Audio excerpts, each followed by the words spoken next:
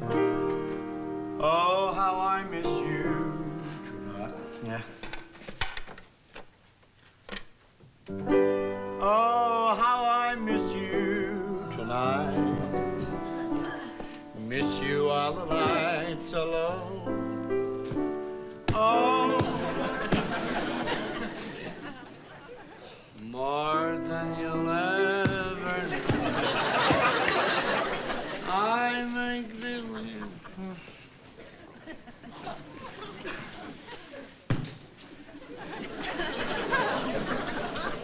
Who are you? I am Mrs. Polakow. I clean house. You somebody?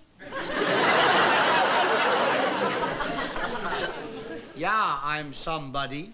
I'm somebody that's trying to get some work done. So please clean house someplace else, huh?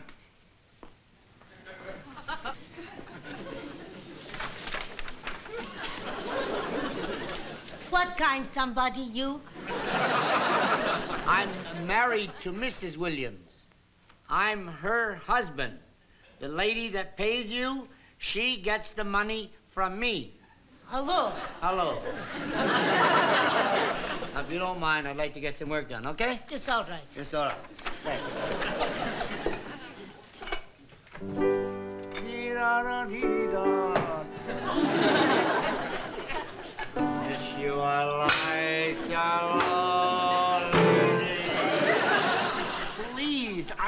got to play the piano. Okay, you play. You no bother me. Yeah, but you bother me. Okay. Mrs. I quit. Oh, did you say quit? Oh, you can't. I You just can't. go. No, no, you just can't, Mrs. Polacott. Now, please, come back. Now, tell me, what what happened? What's wrong? What is it? Him. I bother him. Danny, what did you say to her? What have you done? What do you mean, what have I done? I'm trying to get some work done. I've got to get an arrangement out. And I just told her to be quiet. Oh, Danny, how could you? How could I? Really, Mrs. Polacott, Mr. Williams is very sorry. Now, really, is Danny. You tell her that you're sorry. Go on. She makes the noise, interrupts my work. Want me to... What are you, some kind of nut or something? Mrs. Polacott. I go. Oh, no, please, Mrs. Polacott. Uh, Mr. Williams is very sorry. Now, really, he is. Sorry for what? All I said to her was you bother me. He say it again. I go. Oh, no, Mrs. Polacott. Now, uh, I tell you, Miss, I'll tell you what. You go out into the kitchen and straighten things up out there, and in the meantime, I'll straighten up Mr. Williams. Go ahead. Danny. Danny, what are you trying to do to me? What? Wha- Don't you realize what a jewel that woman is? Why, she's only the most popular cleaning woman in town. How do you like that? She's the woman that Mrs. Ed Sullivan stole from Mrs. Garry Moore before she lost her to Mrs. Arthur Godfrey after she walked out on Mrs. Perry Como. Oh? And how were we so lucky to get her to do a guest spot for us? I just told you she walked out on Mrs. Perry Como Why? Because Perry brought Rosemary Clooney home to rehearse a duet on cleaning day. The mad fool. Don't make a joke out of it. It's very serious. Come on. I was just wondering, maybe if I made her some nice cheese blintzes, that might make her happy. You're gonna make cheese blinches for the cleaning woman? I beg you to make them for me. You always say, oh, it's too much fuss and bother. I haven't got time. But for her, you're gonna make them. Danny, I've no intention of losing that jewel of a woman, at least not until Louise gets back, so I do not want you to antagonize her. Hmm. Maybe I ought to check into a hotel for the duration. Oh, darling, that's so thoughtful of you.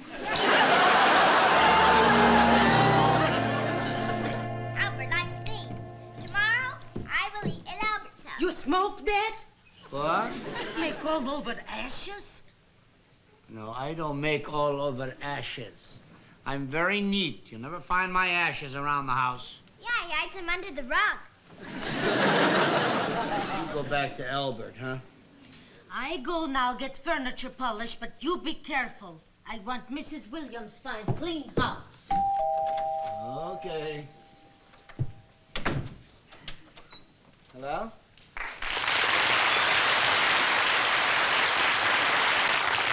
Are you? I- I'm Janine. I'm here to help Mrs. Pullicow. So,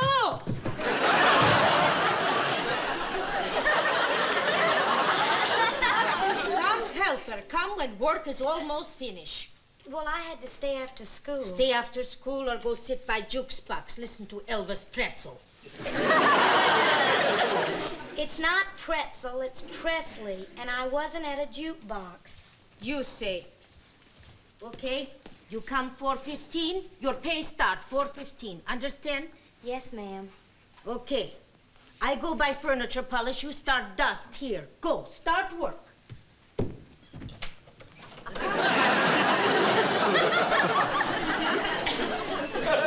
Could I come in now? Okay, don't get ashes on floor. Okay. Well, now's your chance, Daddy. Chance for what? You wanted to play the piano. Oh, yeah, I could get this number finished while she's out. I, uh, I hope my piano playing doesn't disturb you. Oh, not me. I dig music. You dig it. Oh, that's good. I gotta get this number ready for my arrangers before Tin Ear Rosie gets back. She doesn't appreciate my theatrical talents on cleaning days. What do you do? Sing or something? Yeah, uh, mo mostly or something. Uh, well, what are you saying? Look, honey, I'd like to converse with you, but I'd like to finish this before she gets back, okay? Dig you. Clamsville. Clamsville. Very good. Daddy, What, honey? what's Clamsville? Clamsville is a small place in Scotland where they make oysters. you go and have some cookies and milk, huh? Okay. Fine. Oh, how I miss you tonight.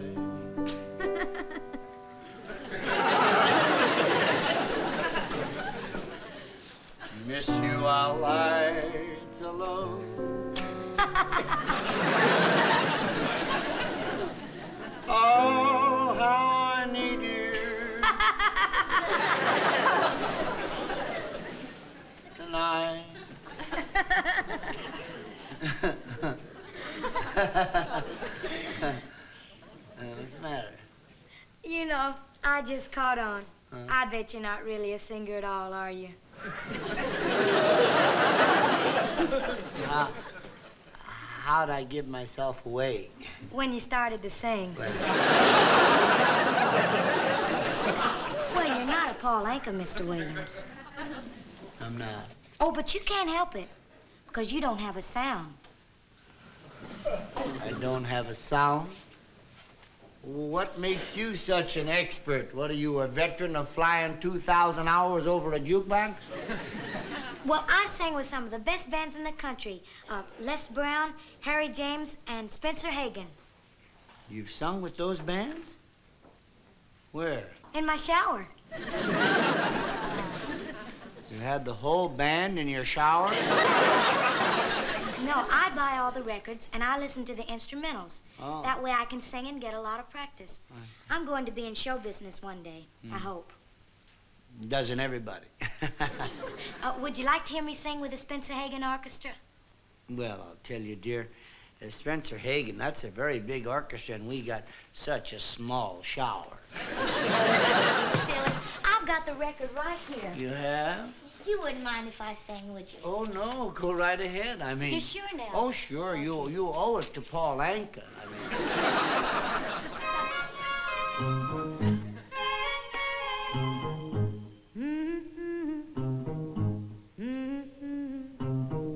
Say it now while you can. Whisper love, hold my hand.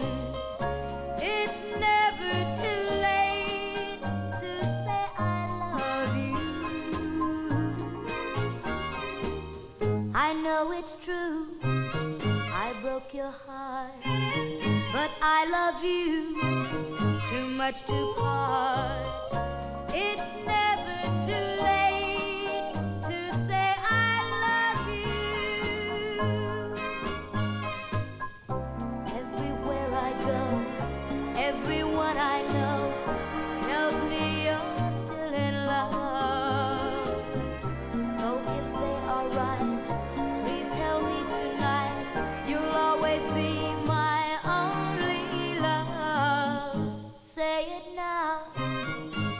can.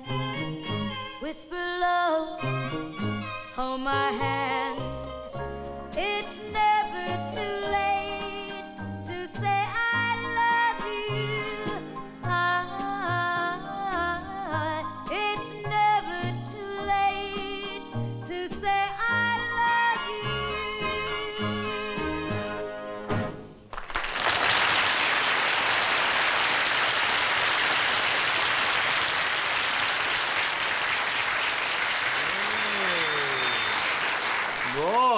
Sure make a sound. Give me that. You sing, I'll dust.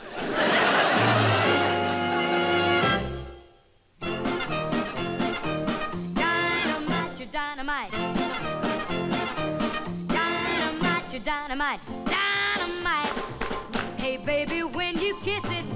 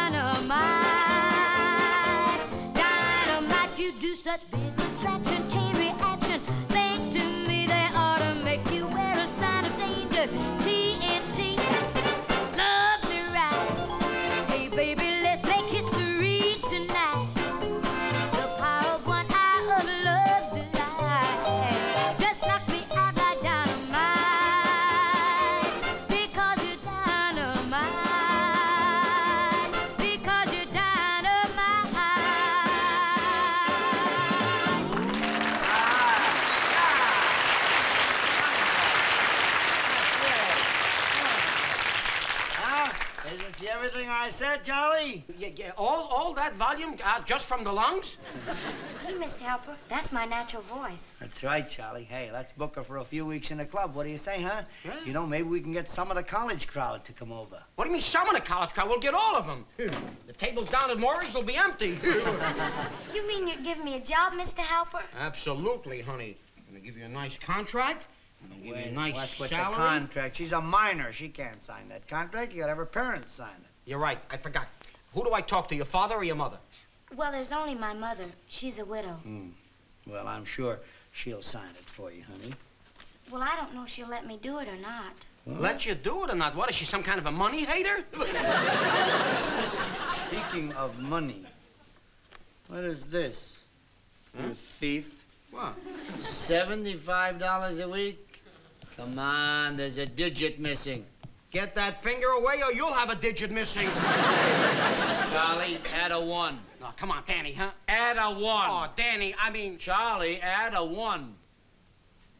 Okay, here, I put a one. Now, there, we made it $76 a week. I,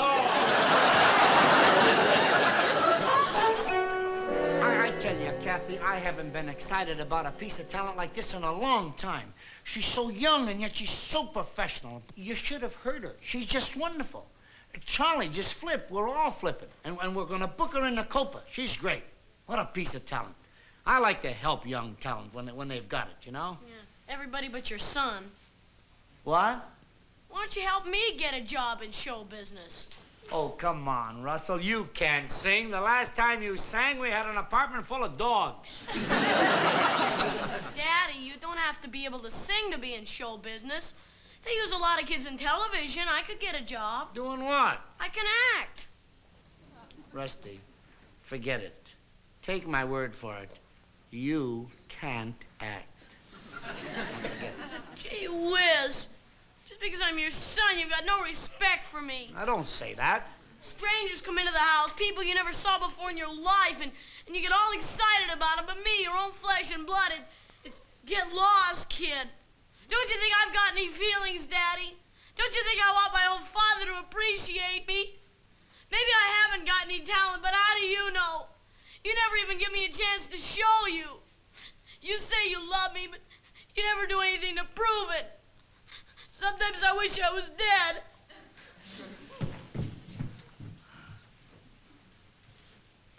Son?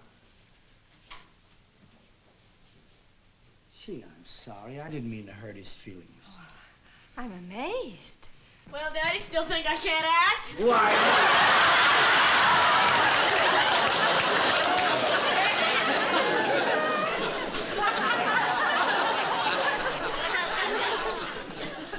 How do you like that phony? Like father, like son. Oh, God. Mrs. Bullicow. Why, you weren't supposed to come back until tomorrow.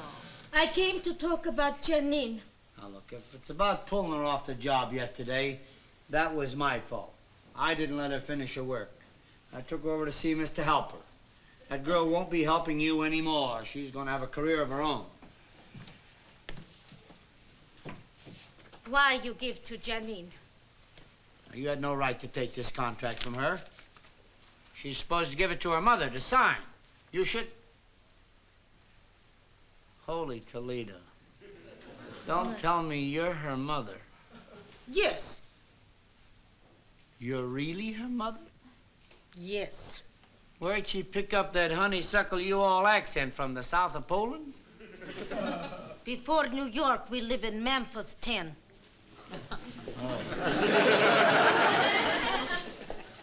Honey, why didn't you tell me she was Janine's mother? Well, I didn't know it either. You never said anything about that, Mrs. Bullicow. Why didn't Janine say something? I not let her say something. Why not? Is something for Janine be proud, have mother who scrub floor, work in house? Oh, well, it's certainly nothing for her to be ashamed of. It's perfectly honest work. Sure, it's honest work.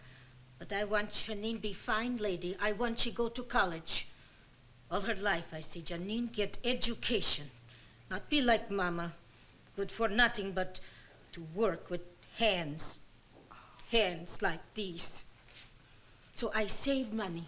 Make Janine help on jobs so that we save more money to pay to go to college. Oh, well, that's wonderful, Mrs. Polikow, but wouldn't this contract be a tremendous help to both of you? Well, sure. The money she can earn at the Copa will give her a fine education. No, it's not for my Janine. Why not? Always is trouble making her go to school. Always she want only singing, sing, roll and rock round jukes box. But I make her study. I make her learn. Then you come with this, you spoil everything. I mean, now she doesn't want to go to college? Now she don't even want to finish high school.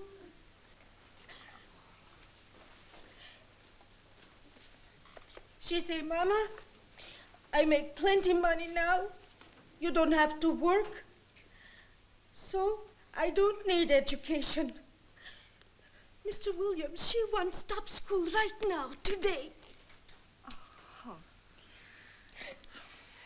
Danny, you just can't let this happen. Th- th- This is terrible. You better tear up that contract. No, don't tear up. Please don't tear up. If you tear up, she going to hate me. Hate you? Yes. If you tear up, she going to hate me all the rest of her life. Sure, I want she go to college. I want she be fine lady, but most of all, I want my daughter not hate me. You got pen? Mrs. Polkow. Please.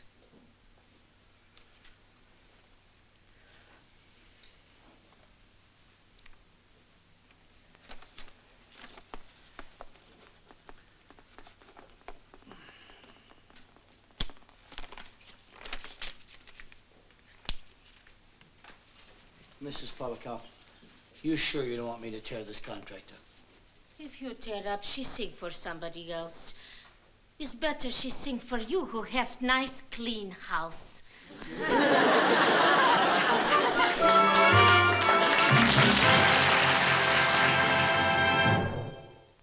Hi, Charlie. Hi, Hello, Kathy.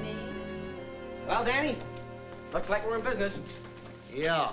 Hi, Janine. Hi, Mr. Williams. Janine told me uh, her mother signed the contract and left it with you. Yeah, she signed it. I got it right here. So how come you don't tell me? I mean, after all, I am one of the parties to the contract. And when you're one of the parties, the least you can do is get invited to the party. Don't get excited, Charlie. Just relax. I'm relaxed. all- I'm relaxed. Let me see the contract. Here, huh? see the contract. Yeah. Honey, I think uh, Mrs. Polikow ought to be here for this. Would you call her? All right. What, what do we need a crowd for? What is this, a Geneva conference or something? No, it's just a big moment in Janine's life, and I think her mother ought to share it with her. Oh, Miss Spalakal, I, I wanted you to hear this. Now, Janine, dear, this contract, I'm sure, is, uh, well, it's like a dream come true for you. Dream come true, everything. Right. Certainly will afford you a great opportunity. Great opportunity. And uh, Mr. Halper is paying you a very handsome salary. Handsome salary. Who that hurts right here, you know. And with a little luck, this contract could open the door to a very glamorous career for you. And yet my advice to you is don't take it. Don't take, don't take, what? Charlie, please sit down. Huh? Are you serious, Mr. Williams? I'm very serious, dear. You are out of your mind. Danny, did your nose get too heavy for your head? Sit down. I don't understand, Mr. Williams. Why don't you want me to take the contract? Look, Janine, you have a wonderful voice. You sing great. But how many hours in a day can you sing? One hour? Two hours a day? The rest of the time, when you open your mouth, it'll be to speak. In the years to come, it'll be to speak to your husband, perhaps, or your children, your neighbors, members of your community. And when you do speak, it better make sense what you say. Sense that comes from learning. Darling, an education is a very important thing, especially in these highly progressive times. There's room only for the educated today. Never before in the history of the world has education been so important as it is now. And the entire fate of the world depends upon the education of our young people. Now, I'm not saying that all of you kids are going to become nuclear physicists. But you shouldn't throw away the opportunity to learn. This chance may not come your way again. And your voice, your talent, that's God-given. You'll always have that. And even if you decide after it's all over that you want to be in show business, and education isn't necessarily a handicap, don't throw away this chance, honey. Give your brain the, the opportunity to grow to the size of your voice. Now, you can still take this contract if you want. But before you do, I'd, I'd like to call your attention to another country. This one is between two people, just you and me. And in it, I guarantee to finance your education, all through college, on one condition. That after you graduate, if you still decide you want to be in show business, you have to come back to Mr. Halper and me. Now, the choice is yours. You take whichever contract you want.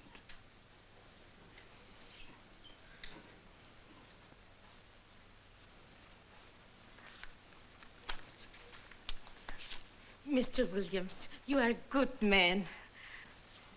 Oh,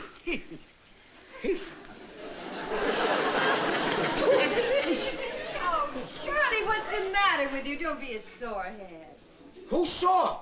I mean, after that talk, I'm so ashamed of myself. I'm going to sign up for night school.